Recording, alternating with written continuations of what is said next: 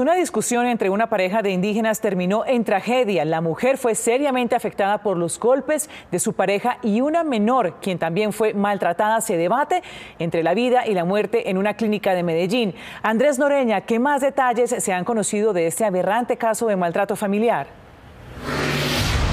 Ana Milena, televidentes, muy buenas tardes. Esto se registró en Dabeiba, es un municipio ubicado en el occidente de Antioquia. El hombre es buscado por la Guardia Indígena en Verá, mientras que tanto la niña como su madre tuvieron que ser trasladadas de urgencia aquí a un centro médico en Medellín. La madre se recupera satisfactoriamente, pero la niña permanece en la unidad de cuidados intensivos.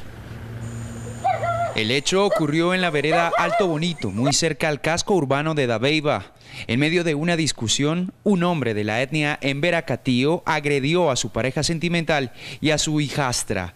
La niña de nueve años tiene un trauma cráneoencefálico. Es un acto que la Organización Indígena de Antioquia rechaza de manera categórica. Eh, ese hecho lamentamos de que eso no vuelva a ocurrir. La niña y su madre de 27 años fueron trasladadas a Medellín, mientras que la Guardia Indígena busca al agresor quien se dio a la fuga. Nosotros no podemos permitir que a nuestros niños, a nuestras niñas y a las mujeres indígenas se trate de esa manera. La Consejería de Generaciones y Familia de la Organización Indígena de Antioquia analiza la posibilidad de que el agresor sea juzgado por la Jurisdicción Especial Indígena, pero ¿cabría la posibilidad de que la justicia ordinaria actúe en un caso como estos?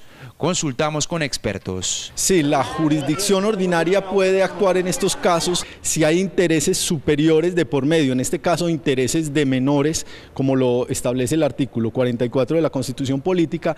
La actuación del ICBF será fundamental para definir qué tipo de justicia actúa en este caso.